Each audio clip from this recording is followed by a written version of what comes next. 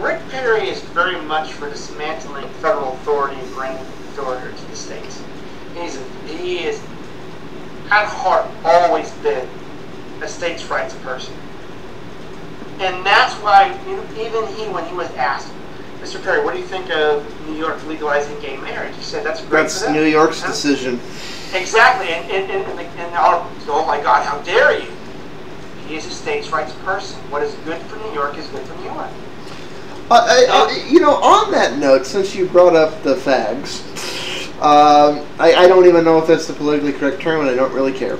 Um, that's another issue, I'm sure, because we were talking earlier about, you know, the religious right and the liberal left and everything. I am sure, aside from the budget and taxes and I'm sure some people will throw immigration in there just to make it a galvanizing issue. Are you for the terrorists? How dare you be? You know, it's like cause the whole point of this election is going to be to galvanize. But I'm sure one of the wedge issues that's going to be thrown in there is the fags. Uh, so, um, you and I have talked Perry, about this.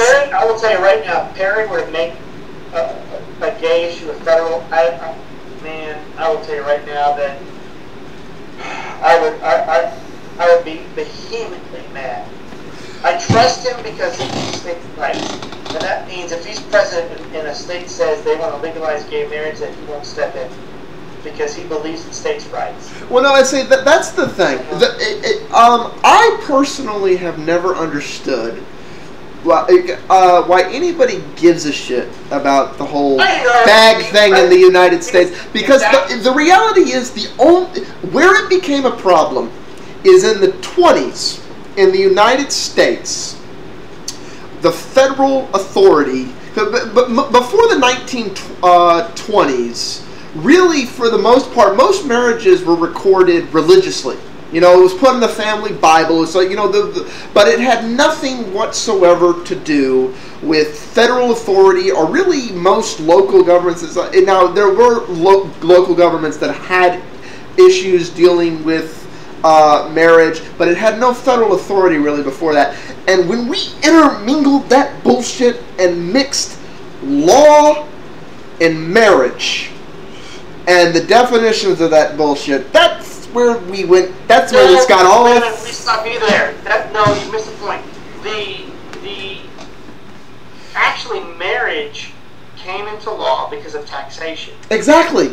Yeah, marriage. We found a way to tax a larger income entity because their incomes were combined. Exactly. And, which and, put them in the higher tax bracket, which increased their tax bill. Oh, okay, okay. I, I misunderstood you then. Because to me, at the state level, not a religious point of view, a state point of view, we shouldn't give a shit who marries who or, or enters into a, a contract of merging financial assets. And the federal government didn't care until the 20s for the reason exactly. you're talking yeah, about. We should totally, uh, the idea of marriage marriage shouldn't even be in the lexicon of the, of the state. Period. No. It, it, it, I refuse to be the state forcing churches to recognize. Well, no, and see that's the reverse side of this. The yeah, the, yeah. the the, pro, the pro, yeah, because wait a minute, let me get to this. My my my very close and dear friend, um, in the end, would love for societal acceptance. That's the that is the last and ultimate argument of this whole thing, of which they know damn well will never happen. We still will never rid ourselves of prejudice and bigotry. It's just a human thing. But our, our law, as you just said, has no place in even using the word marriage because it's a tax scam. End of story. Mm-hmm. Any, any two people should be able to enter into a contract if they wish. If, if, if, if it's my brother and myself, because we decided not to get married and our economic situations and the choices we made have put, put us in a position where it's advantageous for he and I to become an economic entity together as brothers, we should be allowed to.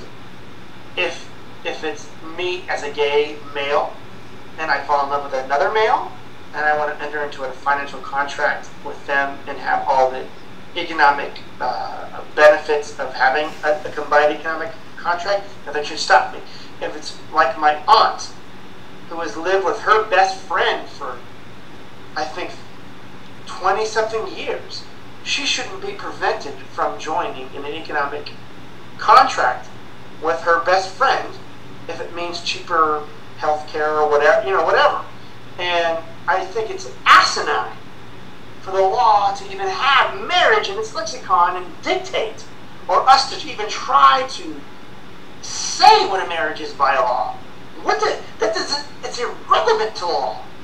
Law is, is in the purpose of an economic contract and an economic, uh, I, I call it because that's exactly what we are as a marriage.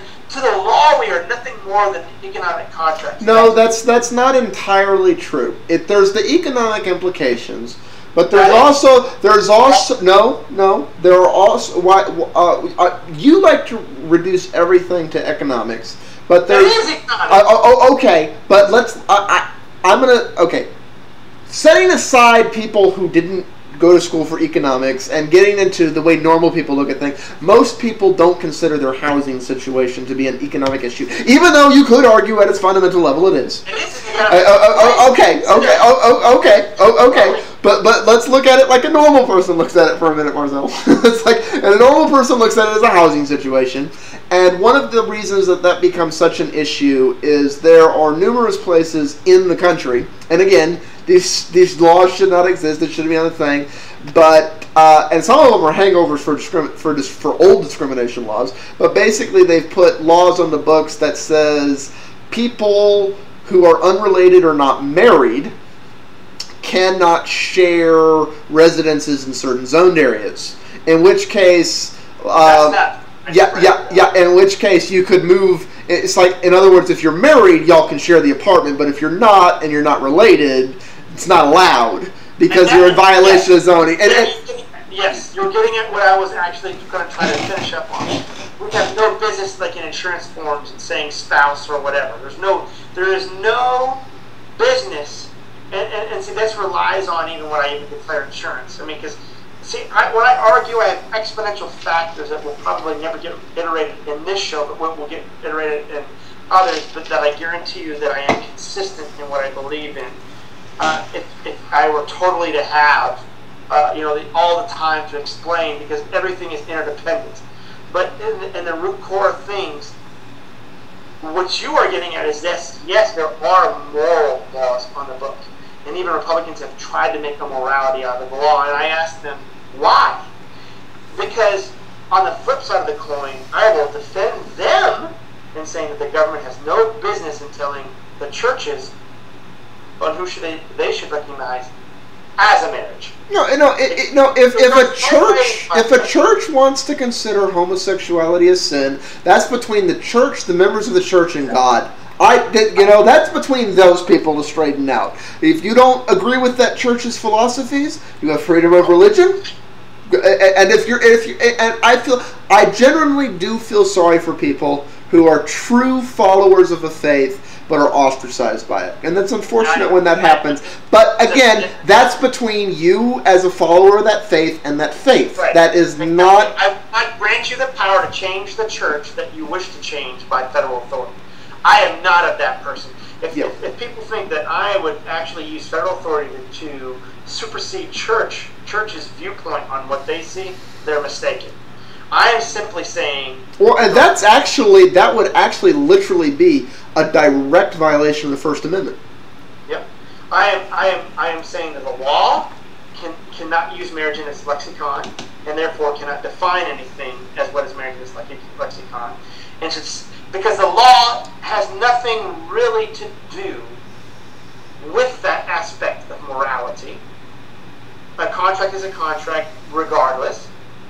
And a church, which has a tremendous amount of aspects on a certain points, and its perspective of morality cannot be dissuaded or told that they're doing something illegal or forced to do something that they don't believe.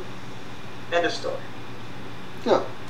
Well, no, it's like I said. It, it should basically be removed. Uh, it's it's it should be it should literally be a non-issue across the board.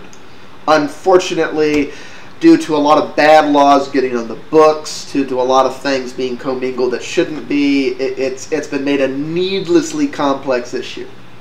Uh, unfortunately, Now, time for dog talk because we have monopolized this totally. he actually is no longer with us. Left? I don't know when he left, but he's offline.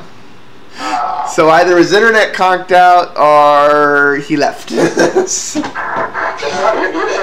right, hold on. Let's go to. Your standing from my perspective because you hired illegals in your home and you knew for about it for a year. Oh! And the idea that you stand here before us and talk about that you're strong on immigration is on its face the height of hypocrisy.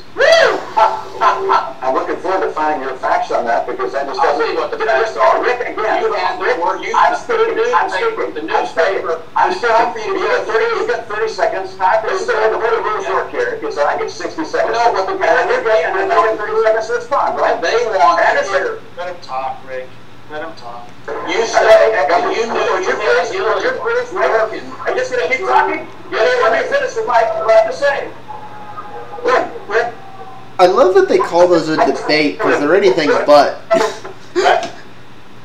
What? What I- did you say? I said I love that they call those a civil debate because they're anything but. and and I understand that, so you're gonna get, you're gonna get tested. If you wanna understand how totally broke Hold what did you say? And, and I understand that. Rick, Rick. I don't suppose I just have to follow the rules. We're gonna touch a couple of the bits for Rick. And, and I understand that, so you're gonna get, you're gonna get tested. You wanna understand how totally broken Washington is, look at this inherent model of a supercomputer, which has now got a magic number to achieve, and if it doesn't achieve a magic number, then Rick Gingrich is pretty smart. I mean, he. I think he was a great paralegal, but I think Clinton, Clinton and, and his Congress worked well together. We'll all have to shoot ourselves in the head. So when they come back with a really dumb idea to really cut off our right leg, we'll all be grateful that they're only semi-stupid instead of being totally stupid. Are you all willing to kidnap Ronald Reagan for changing weapons for hostages out of Iran? We all know that was done. That, you know, Iran, that's not, Iran was a sovereign country, it was not a terrorist organization, number one. And they're our good friends, they're not good friends. Yeah, see, I don't know Rob Pollock's reading after me on this. The thing of it is, is that one day a friend is your friend, and the next it can be your enemy, and then the next week they'll be your friend again.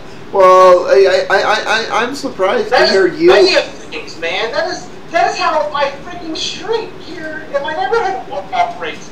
How is a human condition going to be any fucking different? Oh, oh, oh, okay, but you know that has to do with uh, what is it, libertarian No. ideals of you know basically you know hands off and You can't look, man. You cannot wait till the problem is on your front lawn. I agree with it. That's one of the things I happen to disagree with on the libertarians. I'm sorry. Every time you try and be an isolationist, trouble finds you anyways. I'm sorry. It's gonna happen. very sovereign country, just like the, the Palestinian authorities. I think French Iran in 1994, the same year Lipton in, in, in Massachusetts, he ran as a liberal to the left of Kennedy and lost. I ran as a conservative against James Carville and Paul. The, That's a bullshit argument. All he was a staunch Democrat. So was Kerry.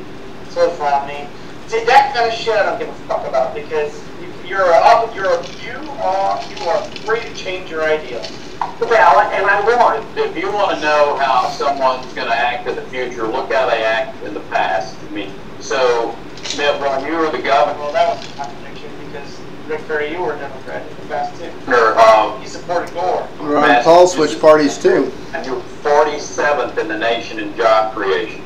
During that same period of time, we created 29. Oh, all right. His context is all right. All right. You know what? I you know what? I could cut Rick Perry a new one there actually because Texas is what number when it comes to education? No, you're wrong. Ooh, I'm glad you brought up Elvis Proof on education in Texas. And some more, Jeff. But with regards to track record in the past, Governor, you were the chairman of Al Gore's campaign. All right, and See, now Mitt Romney, which, see, I thought that too when he first spoke. And that means Mitt Romney didn't listen to the rest of what Rick Perry was saying. Rick Perry's con, I, I just made the mistake too because I said, Rick Perry, you contradict yourself. But his context was what you did as governor. And so Rick, Mitt Romney agrees with me on, on my mistake in listening to what Rick Perry just said first, but didn't follow. he just shut off when I listened to Rick rest of the statement. Remember, he didn't and misunderstands what Perry just said. And there was a fellow, there was a fellow, fellow Texan named George Bush running. So if we're looking in the past, I think we know who you were. He was talking about your governorship, Dave. really, our unemployment rate, I got down to 4.7 percent. No, you didn't. Pretty darn good. Every you're tied with, with Governor Romney in some of the polls for the, the top leadership position right now. Uh, or is they, are they the ones, or either Governor Perry or Governor Romney, are they the ones who uh, should be president? No, I should be president. Barack Obama will be a one-term president. There's no question about this. Now the question is, we need to listen. Okay. Uh, About uh, you know, on that last comment, I want to make a, a state before we get into what you want to talk about and the education thing. Uh, you know, while Obama's approval rating may be low, and regardless of whether you love or hate the Democrats or love or hate Obama, I'm not count. I, I'm not gonna make a statement on this, but I'm not counting him out either because right now, um, while he may have high disapproval, you know, there's the country's pretty galvanized right now. I think it's possible for him to get reelected, and if if you're one Well, of the people who mathematically he has a chance, but I mean, if we're going to go for empirical evidence, he's really followed the path of Jimmy Carter's trends, and I mean, it doesn't look good, and, and that's why his own party doesn't really associate with him. I mean, like when he's on stances and things like that, that he, he doesn't have any co-sponsors and things. Like that. and uh, he's empirically following a path that is not. It can change overnight because politics can change within a we're a year out. There's know, a lot of things that could happen. Obama is a very Hey, charismatic speaker. People are looking to lynch somebody. It doesn't necessarily mean him. Right. All right. Now let's get to Texas education. Woo, I love this topic because I've convinced so many liberals and and and where they. I hope you're not accusing me of being a liberal. So I know, but all right. The statistics for what the college um, education systems have is that there is a it is a statistic based on a four-year graduation rate, and that goes for high school and college. Um, it's a it's a four-year statistic if you want to follow, and I have all the PDFs if anybody wants to ask. And what happens is that the the states with the highest graduation rates, ironically, have the least diverse demographic. Take Vermont, for instance. When you re- research their statistics, they have white and other, or it'll say white and Native Indian, and that's it. And then the, and then they'll have within four years like uh, a seventy-two percent rate or whatever. Okay. Texas has, like California, one of the, the, the, the largest diverse um, demographics. So, and so we need to, like I said, I'm going to the caveat. The states that have the highest graduation rates are the ones with the least amount of diverse demographics. And what I'm getting at is what the challenges like New York, California, Texas, anybody with a, a tremendous amount of weight in, in, in, in diversity contends with differing results in how they should be educated and, or how people need to be educated. Now, uh, one thing I will say is that I'm not sure I agree with the premise. Bullshit. It's true. For instance, I because I was part of this. ESL, English as a second language, is one of the most predominant um, uh, education factors within Texas. And, And that's a program I happen not to agree with. I am a big fan of the total immersion. all right, well, who's going to educate them in English? My parents are U.S. citizens, were born in New Hampshire, and their first language was French. My parents learned English in school. So French wasn't their fucking first language, and they learned English in school. If someone immigrates here, who the fuck is going to teach them English? It, I mean, No, no, no. I, I don't. Okay, here, here, here's the part I disagree with. Okay, yes, the school can teach them English. Where I have a problem with is, uh, particularly at the grade school level, um, if you have not passed, say, fourth grade English, you shouldn't be taking fifth grade English till you pass fourth grade English. If English isn't your first language, if English isn't your first language and it's going to take you a little longer to get it, that's okay. That's okay. But you need to learn. Thank you. You prove my point, Rusty. Because that's just it. What did I what did I start this conversation with? The statistics are based on a four-year graduation rate. English as second as a second language cannot fit in that category. If they are already behind by not understanding English, they'll never have a four-year graduation period. Isn't that ironic?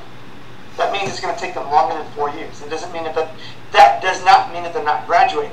So, what we can take from the statistics. Well, the other statistic that you don't keep track of in what you're talking about is um, people who take a break. Well, okay, but that's at the high school level. You don't take a break at the high school level, Yeah. at least not legally. Right. So here, but isn't it ironic that Texas graduates more Hispanics than California and New York? What does that mean? That means the Texas education system is not broken, as a nation would say.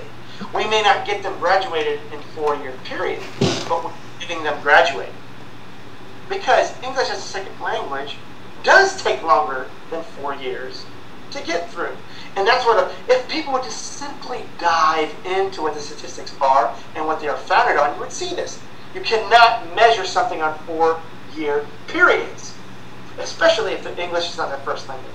But yes, the states that are number one and number two, why are they number one and number two? Because their demographics are all fucking white.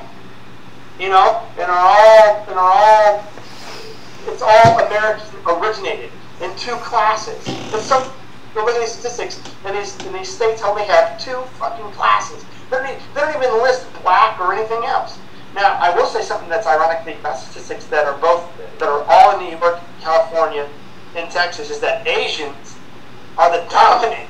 Asians dominate as the highest graduating statistic in all three of our states. this is becoming a very racist conversation. No, no, no. I'm saying what the results are because liberals love to break shit out in a race. Okay? Because because I will tell you this: the argument about Texas having a poor education stems from the liberal side, not the conservative side. So Uh, well, I, I okay. Um, I have mixed feelings on the Texas education system. And that I, I no no I, I, I agree with what you're saying about the statistics are skewed, and that that we the reality is we don't measure those statistics properly. However, uh, would you honestly sit here and argue with me that the primary education system in Texas or the rest of the United States is particularly adequate? Okay, so now you're saying, as a whole, is the United States education system up to par? Could it, or could it be better? Of course it could be better. I think that tremendous amount of what should be learned in lower grade levels is actually being wasted in what people pay at the college level to relearn. I, college, I would say that 48% of what people pay at the college level, which is expensive as fuck, is shit they should have learned at lower levels of education. Uh, personally, I would argue a six to eight year old is capable of learning algebra if you teach it to them. Uh, but th- th- th- that that's one of the things I don't like about our educational system. It, it's built on the idea of teach it to them simple, teach it to them wrong, then correct it, then correct it, then correct it, then send them to college. Right. And- and- yeah. Well, yes, and I will explain what's happened. So our education system has gone to the least common denominator. Primarily is why you don't agree with ESL. Because we do make ESL standards, global standards many times for the rest of the students. Uh, and, and you are right. And that's probably why you dislike the program. And that's not the program's fault. It's it's people that say, well, look, you are not any less of a person because English is not your first language. But we should.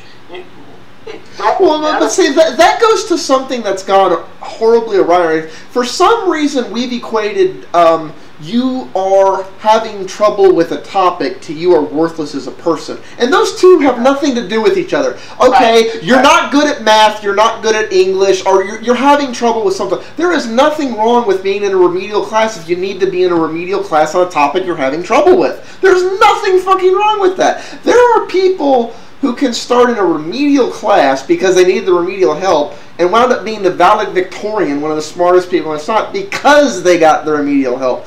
The fact that you're in a remedial doesn't necessarily even mean that you're dumb. It means you're having trouble with this topic. That's all it means, and that's all it Exactly. should mean. I know. And, and, and, and see, the thing of it is, is that it shouldn't be.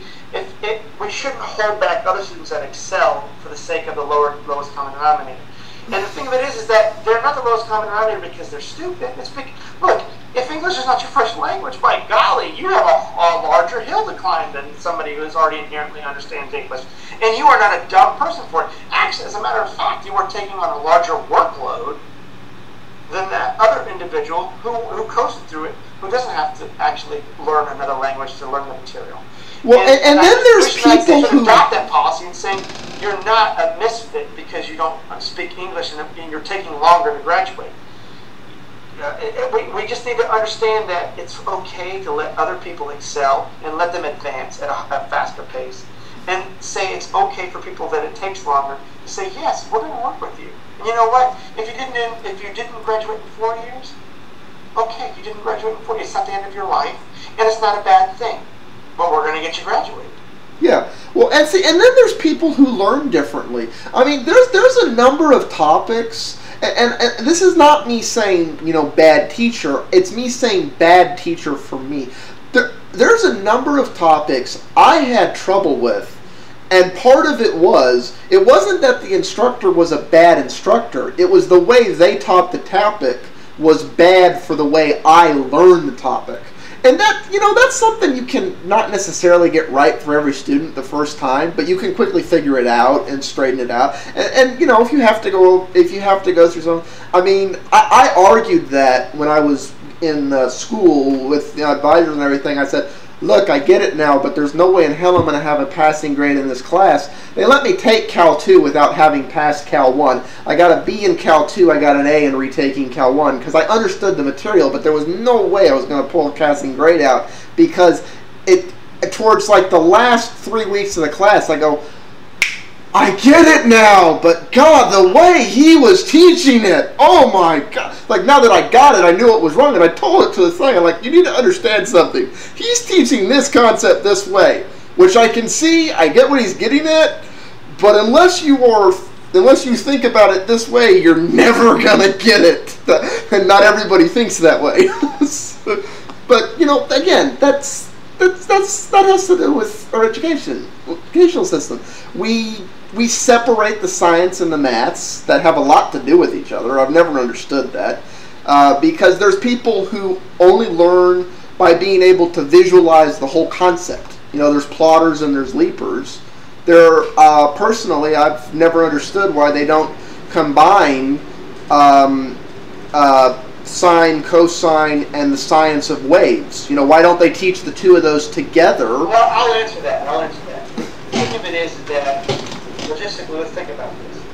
But yes, there is a norm uh, that society forms on its own, by genetically or what have you. That there is going to be a majority of the way somebody does X, Y, and Z. And, and then we'll make it specific. There is a there is a majority mass of people that can can learn X, Y, and Z. And you're absolutely right. There are also X, Y, and Z that don't run that way and they fall through the cracks. And so how do we manage that becomes a question. Because it, it, it does become costly when education gets super specific to where we can teach all variations of X, Y, and Z. Now, if we can find a way to do that, there I, I, I- have been fortunate enough in my life to meet people that are legitimate teachers who have that art. They have the ability to simultaneously teach to the plotters, the leapers, the the the the, the, visual, the, the, the but that is an art. That is a that is an art form. It's a, if you've ever seen that art form in action, you're like, you have an appreciation for what that art form is. I have in my life met three legitimate teachers who that is their art. They can do it. They can cover them all.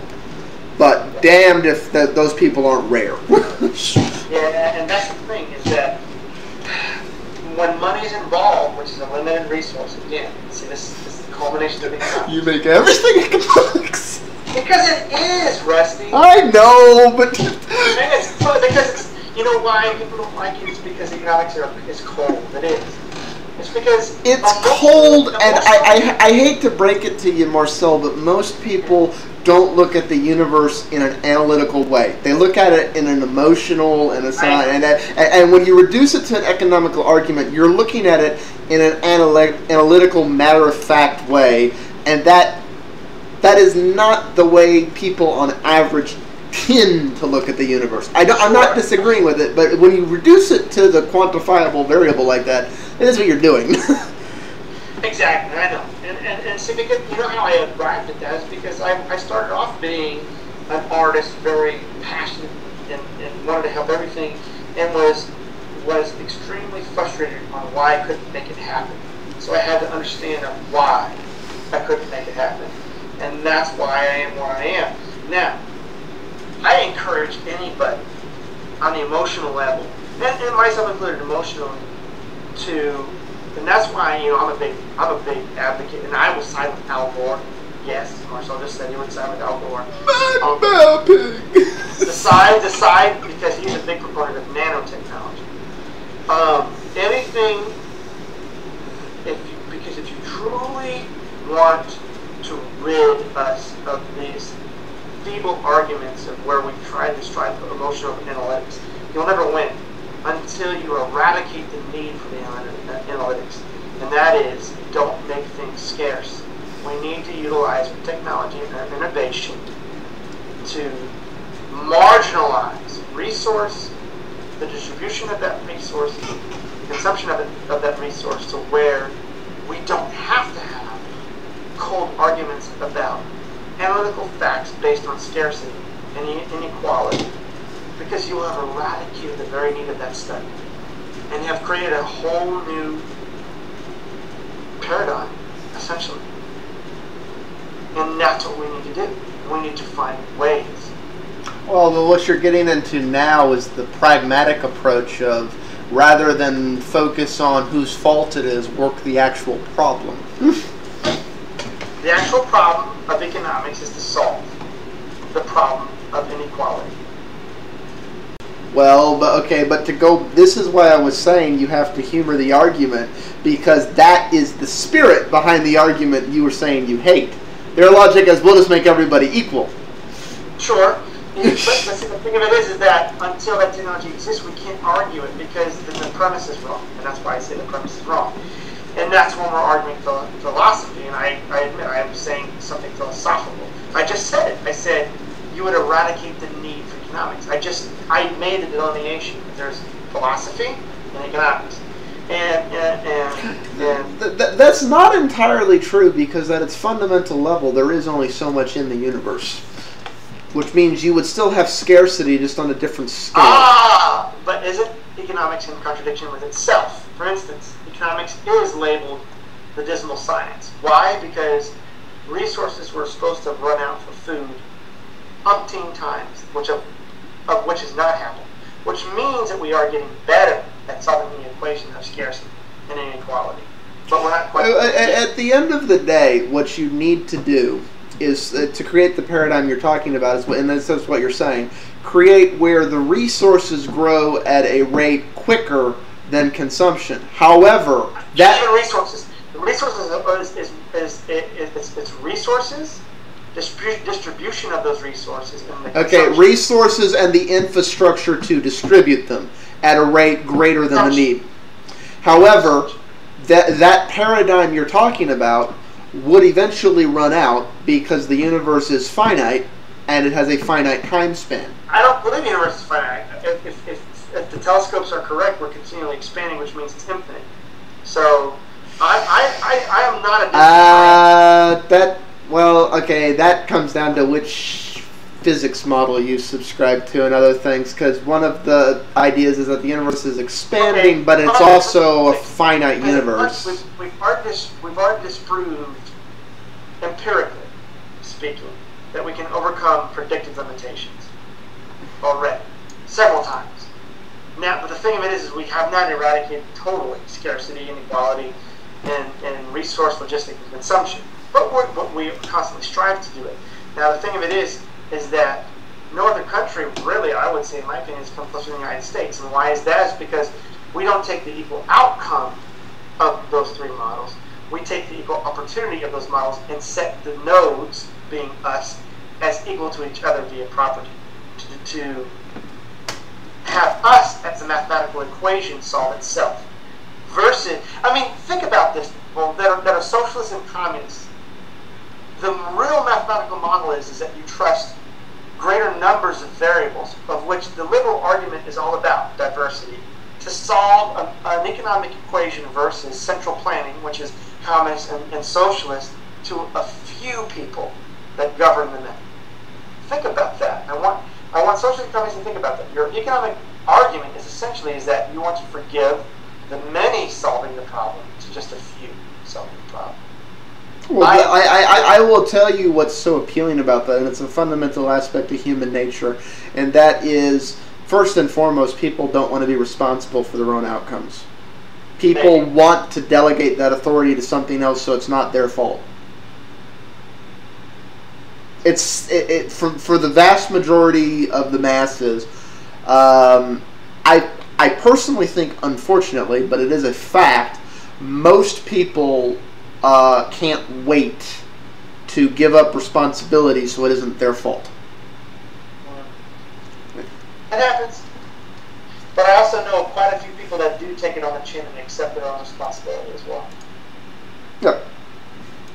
But that is the socialist versus capitalistic model, and, and it's and it's and see and see the thing of it is is that the bailouts and all this other shit that's not capitalistic. I a capitalist would truly say that those people should have gone to jail. They Well, no, well, and the general theme that seems to be running through this entire conversation we've been having for uh, over an hour is um, at some point failure became wrong, not allowed. And, Exactly. and it's like, you know, it's okay to fail. I have made some motherfucking Lulu mistakes in my life. I learned something from each fucking one of them. Each damn one of them was a failure, which became a success because it was a failure. Uh, so I'm a big fan of failing. Fail often and learn from it. but that's me. Yeah, Um, it's frustrating. Exactly, it's frustrating that that we have policies that start off capitalistic, and then the very things that are supposed to be the checks and balances in capitalism are superseded by socialist measures, i.e., the bailouts and protecting this and this and this too big to fail, and therefore capitalism can't work because well, well, no, but see, what what you're getting at, like, uh, he, like, here's the thing. We we we ha- uh, and it goes back to the original thing we're saying. We don't want anybody to be poor, so we want to stack the debt, so people so people That's can't so people can't fail because if they fail, they'll become poor and they'll fall down there, and we can't let that happen. That's unhuman. so we can do the path of communism, which means we all equally fail.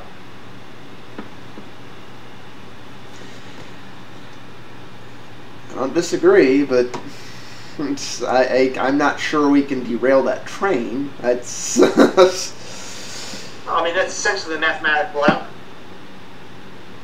Because you get to the point of central planning to the end. Think about it. You have to centrally plan to centrally plan to compensate for the other unintended consequences that occur, which means leads to total and more finite.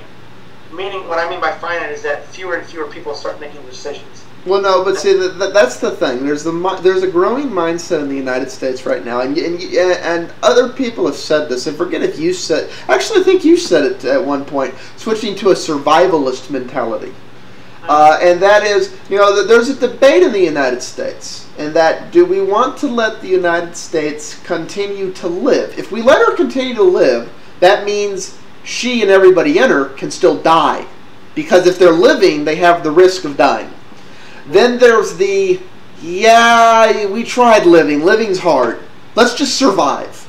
Yes. Uh, uh, Living versus surviving. Absolutely. yeah, and but but it's like it, there are there's there are people for whom survival is not enough, and there is a lot of people right now who are yeah I'd prefer to live, but survival is enough, and that's kind of the other debate that's going on uh, in the country right now. You know, it's which one, which one's going to be the future of the country. Sure. Absolutely. Man, we've gone long enough, so this should be the conclusion of our uh, first political show. Hey, we didn't go into all the issues, and we kind of got off on a. Hey, hey, we can't. We can't. Uh, no, I know, and we got off on a uh, on kind. Well, at- some point, we need to honestly take an in-depth look at all the candidates and their history and their track record and everything, which is Sure. something you were starting to go into. I. I know you like Rick Perry, and I know you kind of like Ron Paul. I know you don't really like Cain, but you know it's I like Cain's personality. He's rolling with taxes. okay. But you know the reality is every one of these candidates is wrong on a few things. Sure, It- it- absolutely. but again, I prioritize my economic. That you know. Well, that's because that's because of your point of view, and I'm I, I the other thing to be looked at if you are playing the, um, th- there are people who are playing the um, not wanting Barack Obama reelected, and there's people playing the wanting of uh, Barack Obama reelected, and one of the factors in there is okay in a Barack Obama versus one of the current Republican candidates. Which one gives the greatest outcome possibility see. for what you want? And you need to look at that argument based on how the average voter looks at an election, not necessarily an informed Now- now, Are you individual. still recording? Uh, I was about to stop on that. Now, let me say this because the reason I, I will surmise my Rick Perry bias quite simply. You're a Texan. It's no, hell no. It's not because of that. Uh, it, it's because of I just said. Central, I, I, I believe in capitalism because many people get to solve a mathematical equation versus few that centrally plan. Rick Perry is a states' rights person, which follows the same model. It means that many more get to contribute to helping people than fewer. If the federal government supersedes all states, on many regards, fewer people decide for the masses.